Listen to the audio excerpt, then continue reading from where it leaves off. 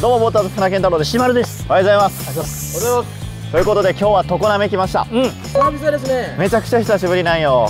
うん。前来たのが去年の12月だよ。ああなんか東海に。うん。ちょっとさはい。あの東海来た県って無理に名古屋弁使わんでいいよ。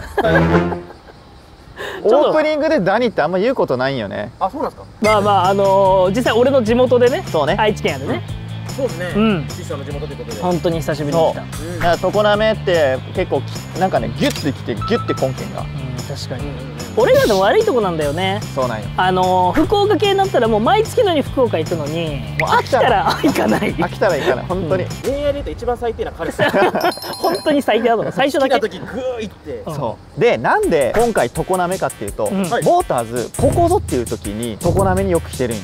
おおそうでしたっけ？そう、ん。まあ、実際4艇ボックスもスーパーアルナシもスーパーアルも全部常滑でやったもんね。そう。確かにそうですね。検証系って結構ここでしてて、はい。戸田は実験場やったんやけど常滑ってのはベーシックなところでいろいろと検証がしやすい場なんよ。ほうほうほうほうほう。レイアウト的にもね割と本当にスタンダードなボートレース場なんよ、だから常滑って結構検証系使いやすかったよね。で結構来てたみたい。じゃあ今日はあれですかやっぱり検証系ですか？で行きたいんやけど、うん。まあある意味検証でもある、まあ確かにね。今回ははい。力試しとして来たわけ力試し。そう。まあ言言ったら、はい。俺らボーターズの検証なんだよね。もう自らがなんかその実験台になるというか。そう。そうそうそう。でこの間の尼崎 SG の最後の旅を終えてはい。でそれまでにいろいろと俺ら課題が見つかってきてたわけね、うんうんうんうん。で俺ら船券研究を重ねて今回来たわけね。うんああそうなんですね。そう。じゃあもうみっちりやってきたんですか？みっちりやってきたそれがあってまあ大体2週間近くみっちり話し合って、うん。まあ、船券研究したの、うん。ああバージョンアップしたというか。そうそうそう。具体的にどういうところが変わったんですかえっとね俺の方で言ったらスリット体系を読むようになった。スリット体系読む。そう。でこれ後でざっくりやけどスタートの体系によって誰が勝ちやすいかを見つけるみたいな。へえ俺は展示で見るところを変えてる、まあ、これは常任行った時に詳しく喋るけど結構ね前と見る手順とかいろんなものを変えてるから、い。結構細かく情で喋ろうかなと思ってる。だからね、はい。まあ、今回気合の意味も込めてはい。軍資金もうめちゃくちゃ持ってきてますかいやらしいなあ青ギルぐらい持ってきたんですか？そへええで実際軍資金はいくら持ってきたんですう今回ねかはい。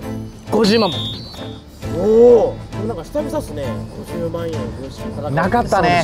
最近4000円とかしかかけたりとかしてなかったっけ？ど、違う4000円じゃないね。軍資金4000円とか最後になってたもんね。俺ら極端だね。ただこれは3日間。50万だよね。はい。はいまあちょっとねこの間夢チャレ最後通編、うん。まあ不甲斐ない結果やったしここでちょっと勝ち癖をつけたいかなと、まあだから、はい。まあ、改めてなんだけど、今回の企画のタイトルはい。発表します。はい。我々ボーターズがはい。パワーアップした船券で3日間常滑に張り付いたら軍資金50万円。どれだけ増えるか検証していこうかないやもうタイトル岸か半端ないな。悪い予感するけどな。いやーでもなんか本当に昔のボーターズが帰ってきたっていやーこれはやばいです。まあということで、はい。今からもう早速常滑行きます。もうね展示が始まるぐらいなんよはい。ということで1レース目から狙っていきます。行きます。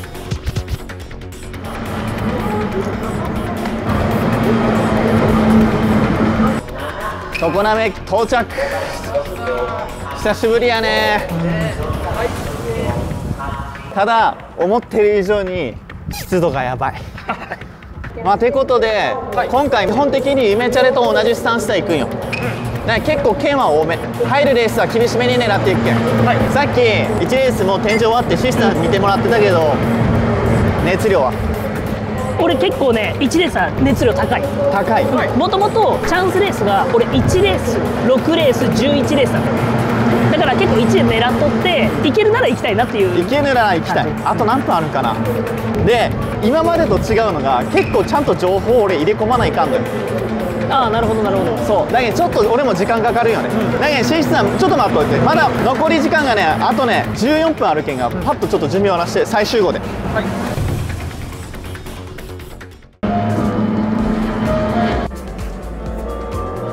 このちょっと最初は時間がなさすぎるね。ないね。その中でもシスさんこのレース行きたいんやろ？行きたい。俺はインカで行きたいと思っとって、展示でいいなって思ってる選手が売れてないっていうギャップが生まれとるよああなるほどね。がしてるしちょっとそこが太郎ちゃんと会ったら入りたいなっていうようなそれはまずもうイン逃げしやすい状況はもう鉄板級なの結構熱いと思ってるで俺もそこで言ったらイン逃げないよね何パーぐらいあるのこれねイン逃げ率はね73%なんよはいはいでこっからなんやけどこっから今まで俺らになかった予想なんやけどスリット体系予想するんよでボーターズのサイトにスタート順位出たの、であれを活用してスタートした時の体型を予想するわけ。ねでこれによってイン逃げしやすいかしにくいかっていう体型が分かるわけ。ねで今回のは2と3が遅れる体型なんようんでこの時って常滑においてはイン逃げがしにくいわけではないなるほど。でさらに少しだけ2と3が遅れてスタートするわけであってその後展示タイムが2と3が出しとるから追いついてくるよねうん。だから結果1マーク付近では横一線になりやすい状況なの、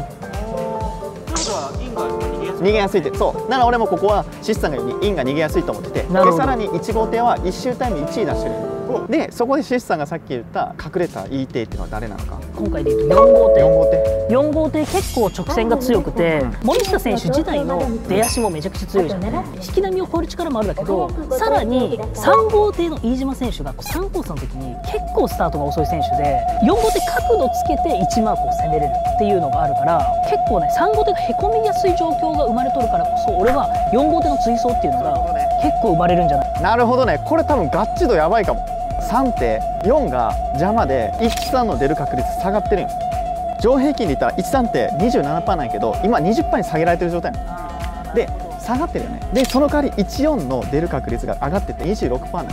これ上平均から比べると6%アップしてる状態。あそこを吸い取さんが言うように俺は14あると思ってる。ああなるほど。俺が行きたかったのは1214は確実で、ん。3か5どっちかって迷ってたあーなるほど。俺は5の山口選手のモーターが壊れとって中間整備も入ってるしあんまり良くないんじゃんよくない。3とこ比べた時には純粋に3の方が強いって話だと思であればまあ16はないってことよね、う、うん、あ6はまあか風切っていいと思これ1214じゃない？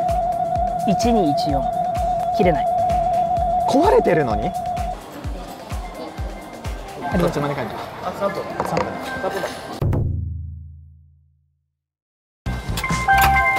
う常滑1ですこれでいきます買ってきました、はい今回は124235っていう回目で6点買ってる、展示の船足から見ても俺は4号艇がいいと思ってるで俺の方で言ってもスリットが抜け出した時に4が有利なポジションになる、で展示タイムが2と3が出してるけん追いついてくるんやけどやっぱ4の方が有利。ただ1を倒すほどではないってこと。でただね2の方はスリットがもし揃った場合、この時はもう2の方は入れとかないといけないってことで12は入れてるってこと。俺らが期待してるのは4の方なの、だ。からこそ4の方には1万5000ずつ12の方はあくまで元返しみたいな感じで14が来たらやばいことになるから。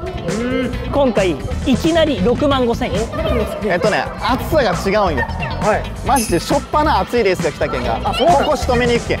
いきなり勝負します。いきます。はい。まずは2と3が少しスタート遅れてほしいよね。4に有利になるように。さあまず1号艇しっかりスタートいこう。さあスタート。勝負どう？さあここから。いや若干出られたか。これ4が不利かも。こっからこっから。でも12も勝っとるでね。勝ってる。1号艇しっかり1号艇しっかり回ってブロックブロック。で4入ろうよ入ろうよ入ろうやばい3にいかれたかもいやー3にいかれたか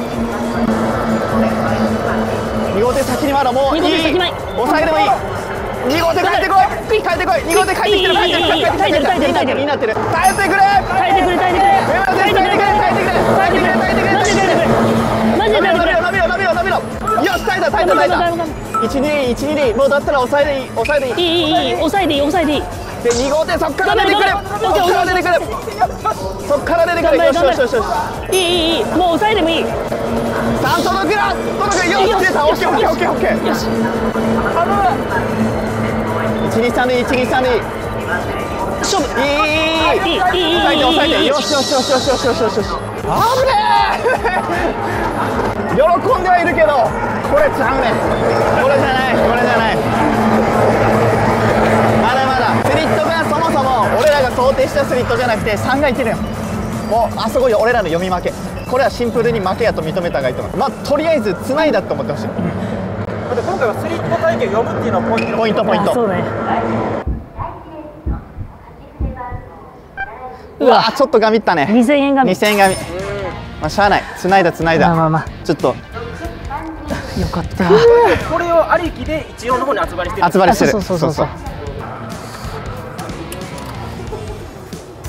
万3000円。まあ2000円マイナス。合成はね3倍あったんよ。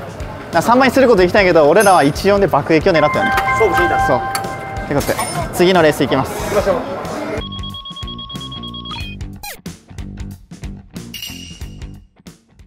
これ前付けやね。前付けっぽい。あ前付けだね。ここ前付けなんで剣します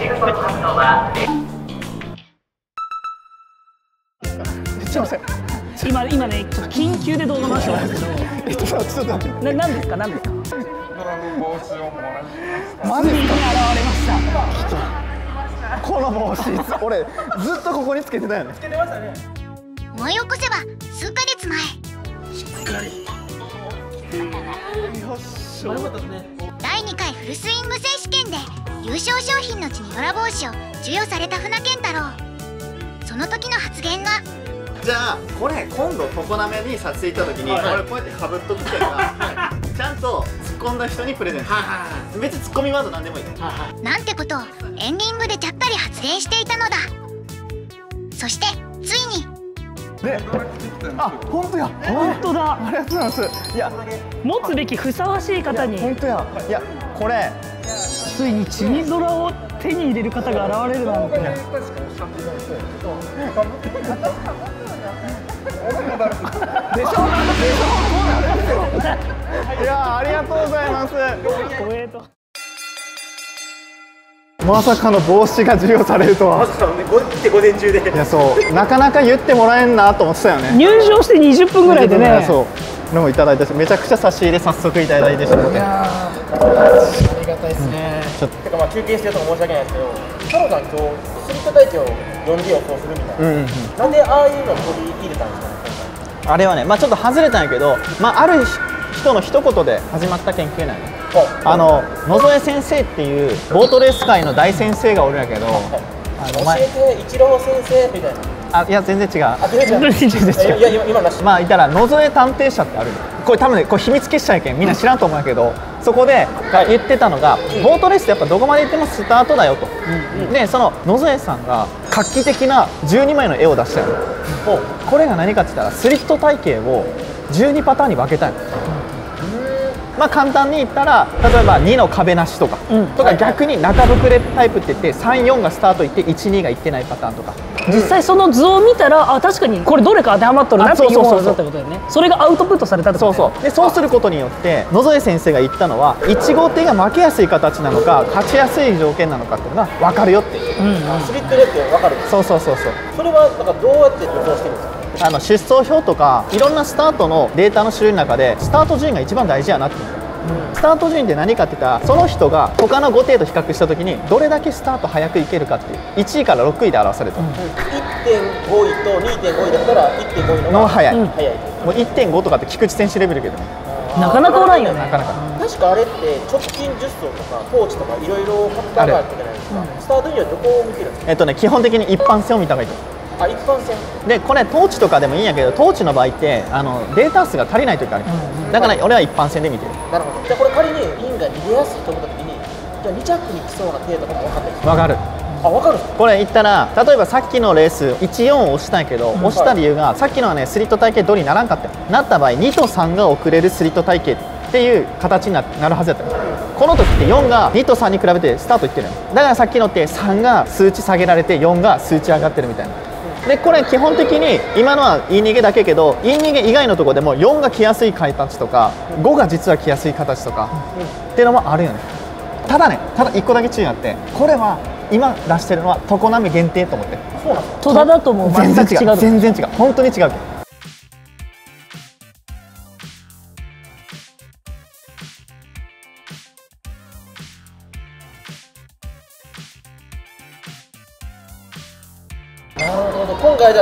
常滑編を出したねそう。いやーもう僕もその視点全くなかったんでなんか面白いですよね。あそうそうそういう見方っていうか。ここに今俺らがやってるのがプラスシスターの行き足とか展示タイム足してるそうすることによって1マークでの体型も見めてくるわけ。あだからさっきの練習だったら14が熱い。そうそうそうそうそう。いいの分かったからそっちに振って。そうそうそう。だからもうあと5年研究したらだからもうあと5年研究したらあのゴールの時の体型まで、あの予想できる。そんなんいらない。バス乗る手順とかもそういうのもしっかり分かるようになるそれ乗るんですか？ボーダーサイドに、うん、いらんそんな。大体登録番号早い人から出ていく、うん。そりゃそうだうんであとあの喫煙所に誰がいる。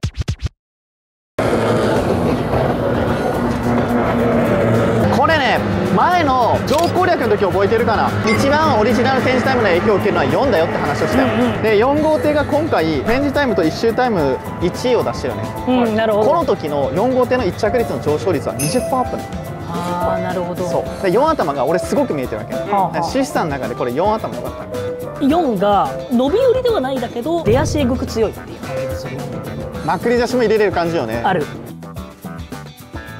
あでも買えそうでも安い確かに。めちゃくちゃ安い。イン逃げオッズみたいな。412とか8倍だもんね。そう。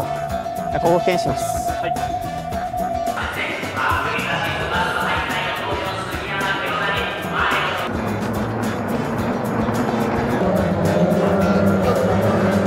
なんか俺違うレース似てるかなってぐらい俺が狙ってるオッズインやけど。ちなみに俺もそうじゃん。俺は1号艇狙いない1号艇で。タルちゃん1号艇なら俺も1号艇なるやろこれ常滑の乗攻略で話した話なんやけど1号艇ってスタート順位高い方がいいよって話をしてる。うん。でこの1号艇の選手まずスタートが速い方なんよ。スタート順位が高い。高い。スリット体系はどうなんですか？スリット体系は2号艇が遅れるパターまあ2がへこんだら3号艇がちょっと有利になるかなみたいなやそういうわけでもないんよ。やっぱ2のへこみ方にもよるんやけどめちゃくちゃへこまないか。でもこれはそんなめちゃくちゃへこむっていうレースでもないんよ。でしかも2号艇は展示タイム出してておそらく1周1マーク回る場合はほぼほぼ1234が揃ってるからそんな差はない。スタートしたとしても2がちょっと伸びてる。そうそうそうそうそうそう。シスさんもやっぱ逃げと思ってるんよね。逃げと思ってる、行き足で言ったら1号艇はどっちかっていうと普通3号艇と6号艇に4分の1伸びられるけど、出足が桁違いでここの6艇全部含めても1個分前に行くぐらい出足が強い。これっていうのは前節岩瀬祐介選手が乗っ取って優勝したエンジン。じゃんいいものなんよね。そう。だからめちゃくちゃ1号艇のモーター強くてこう逃げしかないと思ってて俺は1号艇を押した合致してますね。合致してるよ。逃げで。そうなんよでこっからよね、はい。ただシスさんはもし逃げた時誰狙ってる？俺はね結構熱い軸選手を見つけてるもんで軸っていうのを提出したいと思う。軸誰？今回は4号艇篠田選手あ1号艇の次に出足がいいこと。それと2号艇がちょっとへこむっていうところで、はい。3号艇が左に攻めやすいことは4号艇目線まっすぐ走ればめちゃくちゃ幅が取れるわけっていうところもあって出足を生かせることと過去の篠田選手の4校成績インが逃げた時の4校成績がえげつなく高いわけ。ってこともあって俺は4号艇を軸にしたいっていう。かつあなるほどね。5号艇の選手は完全に切れる。出足も悪いしそんな悪いの？5号艇めちゃくちゃ出足が悪い。これね難しいレースなんよね本当。12は33%で13が24%で15が11%で16が17%ある意外とあるだね。やん16あるなと思って。でシスさんが5ないって言ってるし5は切っていいんかなと思って。よっしゃ常滑屋です。これでいします買ってきました、今回はイン逃げから。で俺は展示で4がめちゃくちゃいいと思ってる。よね、これ太郎ちゃんのデータで言うと、俺の場合2着が広すぎたよ。で俺2着これ絞れんからってことでもうシスさんが4激推しやしもうこれ軸でいいんじゃないってことで軸になったみたいな、でこれ4号ってあんまり売れてないってこともあって、うん。結構合成が高い状態。そうなんよ。いやーちょっと激アツレース分かったんそうだから今回の今日の中でのイン逃げ美味しいレースがこれが最後になるかもしれんけんがこそ絶対取りたい。これでいきますあ行こいやーちょっと怖い。それ大丈夫スターかト行こう。ちゃんと行こう。いいよ。大丈夫大丈夫大丈夫。大丈夫。こっちじゃ行かない行かない。オッケーオッケーオッケー。オッケーオッケー。2がへこんでる状況で大丈夫。これでいい。で1はしっかり。これめっちゃチャンス逃げれるよ。逃げれる逃げれる。4号艇幅できてるよでしっかり逃げて。2位邪魔2位邪魔。逃げて。いいよ。いいよ。オッケーオッケーオッケーオッケーオッケー。よし。待ってこれ16だったらやばいんじゃないの？これ164とかやばいよ。やばいやろタロちゃん。待ってやばいの来てんじゃない？熱い熱い。ありえるありえるありえるありえる。ありえるよ。とりあえず4が今度いかん。いいよ4でいいよいいよ。でちょっと待って6が来てない？いやいいよいいよ。もう待って待って。合ってる。3でも2でもいい。これどっちにどう入れてんの？これねでも同じぐらいなんだけど。同じぐらいねいやいいよ5はもう大丈夫大丈夫大丈夫。大丈夫もうほぼエンペラーなんよ。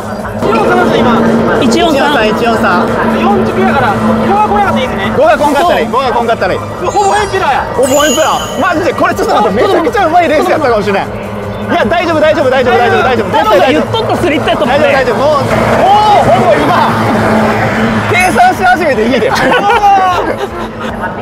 待ってこれ待って143がいいよ。絶対どっち143 143待っていくら入れてる142の方が8000入れてる。あでもえ待って微妙微妙微妙でも143でいこう143でいこう。143の方がいいはず。143ね。オッケー C さん軸ナイスオッケー。よしよし。あ待ってあどっちどっち？143でいいよ。待って待って待って待って。3の方がいいはず。いやーどっちだ3の方がいいけど3やと思うよ。待って待って待って待って。俺らやろ3うとの方がいいはず。ちょっと待って俺らまた油断したかもしれん今。めちゃくちゃ油断してました僕は。ちょっと待って俺も143やと思ってた。お待たせしました。第4レース三番の確定は1着三番1番、2着4番、頼む。3着2番。うわーマジか。これどうなる？2番でいくらなる？これ。いくら入れてんの？2番で。8000円。8000円かいや3やったやんねマジで。うわー1600円。あーでも十分プラスよ。まあまあ大体まあまあ12万いく。だからまあ大体7万ぐらい勝ち。オッケーチェスさん軸ナイスこれ。まあ大体7万ぐらい勝ち。いやーよかったんじゃないですかよかった。今。よかった。シスさんが4軸っていうことで、うん。ちょっと待ってこれ。143最初いくらやったんこれ。あちょっと教えて。どっちの方が良かったんですかね14324倍。24倍。でいくら入れてるんです？か7000円だから。14万ぐらい？2万ぐらい違うんか？あ15万だから3万ぐ3万らいが違う。いやでも当たったいやこれねだいぶ叩きやった高いやつえだって今7万ぐらいプラスやろ？そう。オッケーオッケーオッケー。いやーつないだぞこれ。オッケー。あ次前付けだ。太郎ちゃん。これ検証一回切り飯こいやー。入れるよ。いい。よオッケー。でかい。8万ぐらいプラスやね。8万ぐらい8万ぐらい。8万久しぶりだよね。ということで13万3600円的中。オッケー8万ちょっと今から前付けやからこのレース入らずに飯食います。はい。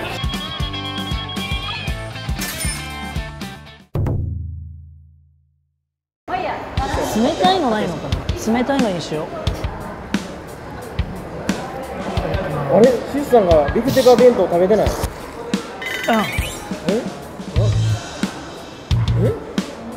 どうした。の今回ねは3日間あるわけ。い2日間ありますね。現時点ではまだ8万しかかってないじゃん、最後にご褒美は取っとこうよ。こういう話なの。えそれさえナチュラルに失礼なこと言ってるって気づいてる？あの？え気づいてる？ナチュラルにえっと。うどん好きな人に。いやーでもあれですね。今日今日だから1レースと4レースが的中、やっぱ。一応全部的中はしてるんやけどね。この後狙うレースとかってあるんですか？一応中では6レースと11レース、まあでも実際は展示見え方展示の見え方次第だから。逆に俺がね今この予想スタイルになって直前情報の重みが出てるけんが何とも言えんのよ。あああこのレースが勝負レースって言えない。そうそうそうそう。言いにくくなってるんよね。ただ入りたくないレースはもう今村選手がいるレースは絶対入らない。え次のレースか？もう絶対入らない。えー、次のレースと激安じゃないですか？ーもう前付けでしかない。まあまあそうですね。今村選手は。でも4号艇の上村選手僕の髪型真似してますもん。あれ同じタイプやったっけ？タイプそうです。だからまあ言うたらそのボート界でポンニー軍団ができつつあるのかなっていうのは僕は思ってる。んですまずポンニー軍団はあの末島選手。末島選手。末島祐介選手。ポンニー軍団東京の選手よね、まあ、切り込み隊長。うん。で、えっと、2番がこの上村選手うんうん。あさえっと、3番バッターが藤山正宏選手。たまに。ーあーたまに。たまに僕みたいな髪型なんですでで4番が森岡真希。あそこは勝てんよね。勝てない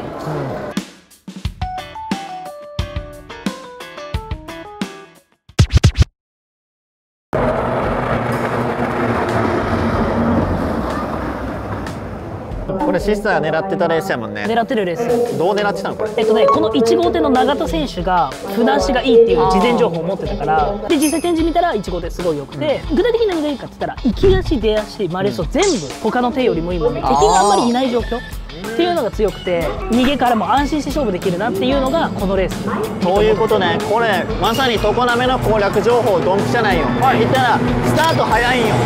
1号艇スタート早いから逃げやすい状態になってるわけねこれ82パー。でスリットがねちょっと特殊でこれ息が速すぎて他の手がちょっと遅く見えてるって感じ。で展示タイム見ると1に対して追いつける手がおらんのよ。もう一独壇場なんや。そうそうそうそうそう。でこっからよね。誰からどう変えたいか。えっとね軸ってほどではないけど2号艇のフィーチャー選手がめちゃくちゃいい。いいね。本当に船足が良くて、出足で言ったらさっき1号艇適応なんて言ったけどその次にのがもう2号艇じゃん。で6号艇の下寺選手。船足が全然来てなくてちょっとここでは活躍しづらいなと思ってるから俺は6号艇はちょっと合格しろ俺正直なこと言っていい？これ1に1本案件なのスリット体系から言ったら1が先行型なの。うん。内側有利な感じだよね。この時って12にバフがかかるよね。12が50%を超えてくる感じになってくるわけ。なるほど。バフがまあベースに対してね。ただやっぱり2がまくりに行くタイプやし34度どっちかは抑えてた方がいいのかなとかは思う。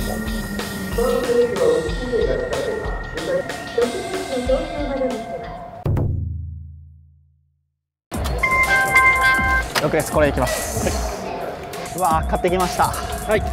え今回買ってきたのは1号艇の逃げから、でお互いの意見があったのが2、で12の方は12345、まだ今日初日ってこともあって、まだ俺らが完全に合ってるかっていうちょっと不安もあるから1425だけ抑えてる。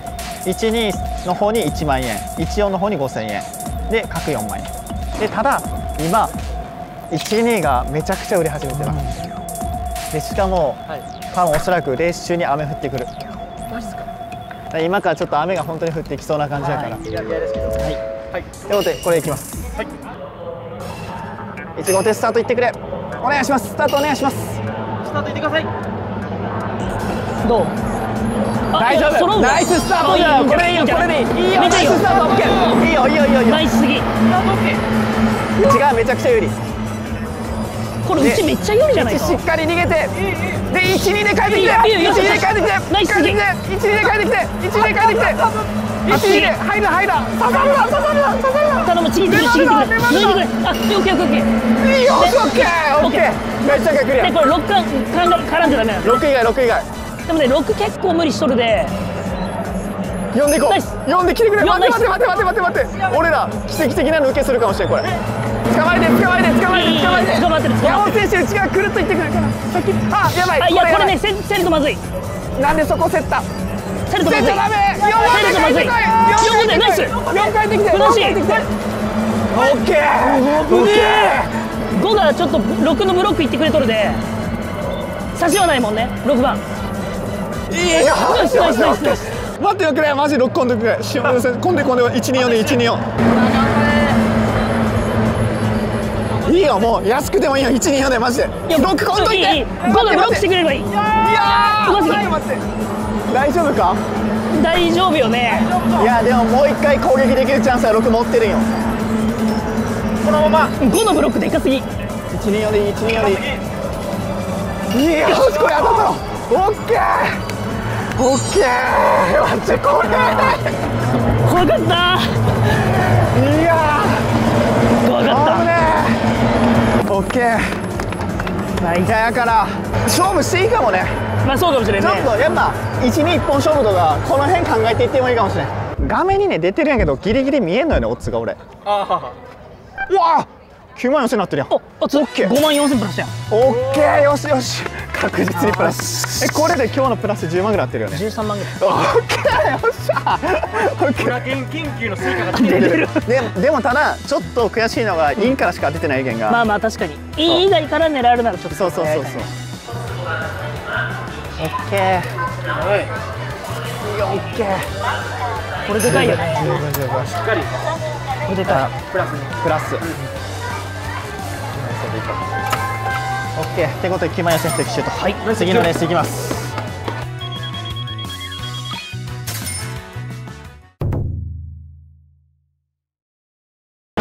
いや。結構雨足強くなってきましたね。そうなんや。今日花火大会あるか心配やわ。名古屋港。ここ心配。名古屋港の。今日たまたま俺らが泊まるところ花火大会らしいあそうなんですいやもうその13万買ってるしそれ持っていきましょうよ。ビール飲みながら。花火見て。ただ今のこの雨の状況やばいかなと思って。うん確かにね、なんか前半レース良かったように見えたんだけど後半来るとん？みたいな展示もあったりしてそれこそ今回の5号での阿波克也選手。前半悪いって言っとったしもうさらに悪くなってもうこれレース参加できんだろうっていうぐらい船が暴れてるとか結構ね影響受けとるなっていう感じがする。誰が勝つと思ってる？いやーここは1号艇か6号艇なんだけどどっちかが分かってない俺が1号艇の北中選手だけどスタート順が高い選手なの、でスイート台形を見るとねスロー先行型って言われる123が先に行く形なの、うん。でなるほど。456がへこむんやけど6号艇の柳沢選手が5コース入っててちょっとそのスリート台形を乱すような展示タイム出してるイン逃げにめちゃくちゃ触れると思ったんやけどここちょっと怖いな柳沢選手怖いなと。これよね。高額やからこそここ検証そうやね。危ない。うセーフセーフ。セーフマジセーフ危ねえ。セーフ。いや46なったらそうじゃないやめようか。ここ検します。まあここは一回検するか、検やってとりあえず検します。残り2日間のために足は見とるで意味がない剣じゃないでちゃんとここから勝負になる。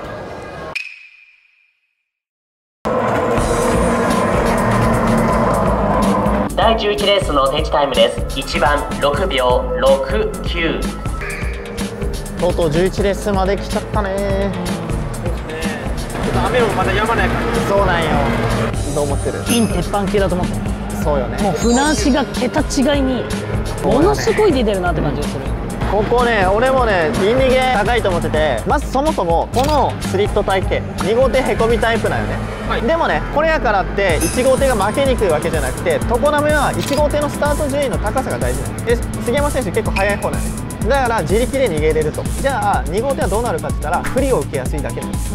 だから出目とかで2号艇がちょっとデバフ食らうって感じなるほどね。でしかも点々も出してるよ、だから壁がなかったとしても自力で止めれる逃げると高いんですかそうそうここはイニゲ率80%高いんよ。なるほどそう。ただね2号艇先デバフになってるって言ってるけど、それはあくまでスリット体系で話しちゃったよ。はいはい。この条件やったら12の来る確率35%ないでも俺はこれより低いと思ってる。俺は12よりも13とかを押した押したいなって感じ、俺もめっちゃ3だと思っとって1の杉山選手の次にの3号艇なん。で、もう本当に軸ぐらいで思ってるぐらい3号艇めちゃくちゃいい。軸はどれくらいの軸？結構熱いこれね出目確率を並べると13が32%なんよね、うん。14が18%で15が10%で165%なんよね。5と6に関してはお互い何も出てないってことは評価高くないけんなくてもいいかなと思ってて12に関してはスリット体系からデバフかかってて一番評価高いの3 1で次2か4かどっちか選ばんといかんと思って。うんなるほど。確かにな。1対4ってあんな売れてるんだ。そう。激売れない。4.5倍？激激激売れしてるやろここ1 3 1本とか。ない。その温度感ではない。です温度感がもう最後。いやダメだ。全然ダメだ。やめよう。検します。そうね。太郎ちゃんあんまりこれ。いや足で行くなら2なのかなと思って。振りを受けてる2なのかなって。いやでもスリットが揃った時の2なんよね。じゃあもうこれで書いて書いてくるね、5万でいってくる。OK これじゃ入るんですか？入るこれ結局想定よりも1点がすごい売れすぎてるところが出てきたんよ。で俺らそこ以外のところの方が振る確率高いと思っててこれ入っても大丈夫ってなって判断して入ることにした。常滑11ですこれでいきます今回はイン逃げ1本。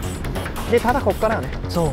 まず俺は三軸が行きたいってなってたのただ問題が発生してて134のオッズがガツガツガツガツ下がってくっていう状況が生まれちゃうのこれ発生確率に見合ってないってことで134は切るっていうこと。なんだよね基本的に軸外ないけどこの軸外のポイントとしてスリット体系は2より3の方がスタートいってることが前提なんです。でもしかしたらボートレーススタートって水もやからもし揃った時はこれ2の可能性もあるってことで12をちょっと補足したってことですあということでこれ全部で5万円。配分しててはい。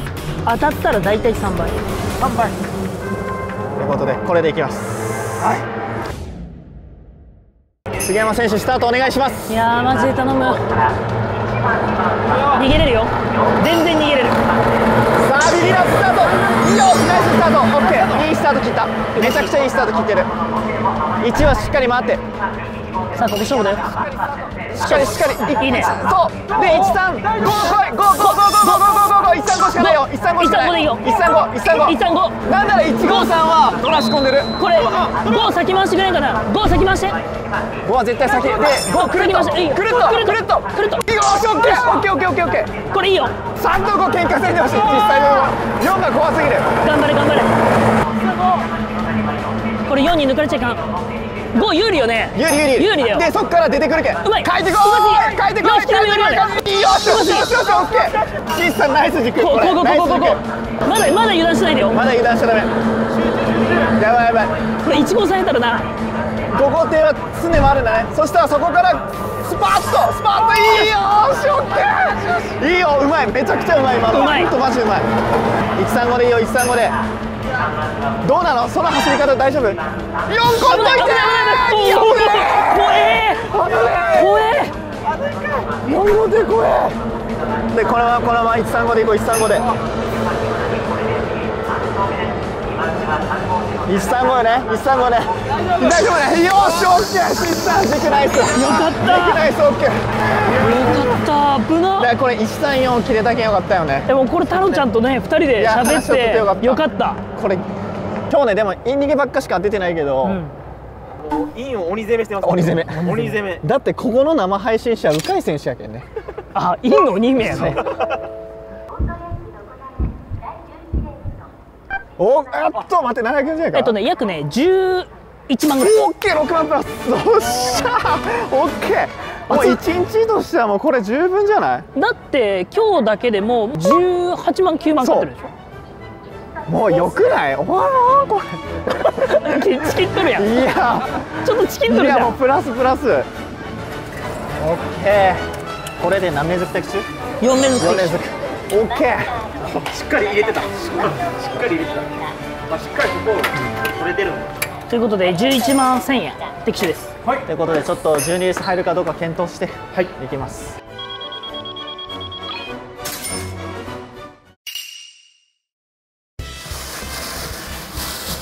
あれ？なんかさっき12レースちょっと入るかどうか聞いてたんですけど。でも買おうとしてるとこ SK から無に入らんでもいいかなと。思ってああなるほど。そうそうそうじゃあ一旦1日目は終了終了やね。さあじゃあ今からね、はい。金山ってとこ行って今日はもう買ってるし、飯食おうか。うわーやったー。飯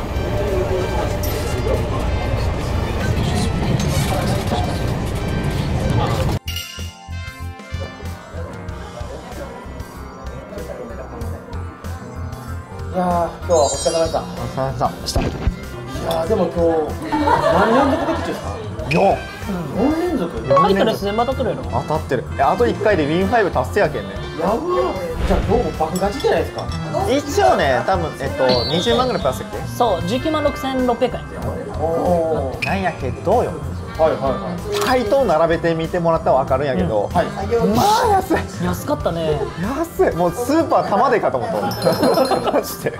実際今日の常滑の人間の配当がこんな感じになっとって2レース以外はもう本当にこのオッズばっかりやったそうからね。そうそうそうでも今日は終始ねもう勝ちにこだわってるなっていう感じに見えましたよ。いやそうね。まあそうね。こだわりすぎた感があるけど。結構結構この日のために練習してきたのもあって、そうね。予想のファクターが増えたなっていうはいところがあって、例えば俺が前までイン逃げるよなっていうのが結構ぼやーんとしとったのがなんで逃げるのかっていうのがスリットとかスタートとか。いろんな要素が積み重なってるから結構革新的に入れるみたいな。そうね。俺今日見てみて。スリット横一線って一言も言ってないけどおもうあの言葉封印します。廃止代名詞じゃないですか健太郎もうスリット横一線なんてもういらない。まあ今回イン逃げのところがメインになってしまったけど明日からイン逃げ以外のところとかね。この辺をしっかり当てれていったら研究の成果っていうのが出ていくんじゃないかなと。だから今日の動画っていうのは、まあ、はっきり言ったら序章なんだよね。ああ来た。まあ大体明日はもう1レース大体これぐらいいくわけよ。でもどこかで1レースね。1個。これいきます1レースにだよいや単位が分かんない。まあだから明日はどうか違うカードが見えるとで。すそういうこと。まあ明日の目標発表しますね最後に。おはい。大口いきます。取りたいね。これは1個やりたい。久々っすね。なんかイメチャリ以外であんまり大口ってない。イメージなくて。ない。そうそう。チャイム押すよ。チャイム押せチョコラメのチャイム押すよ。待ってて。ねもうね映画で言ったら昨日はノーモア映画泥棒ですから、こっからが本番、まあ、要は封筒がないなって。どうしよううわーこのレース。10万5千勝10万5千いいよ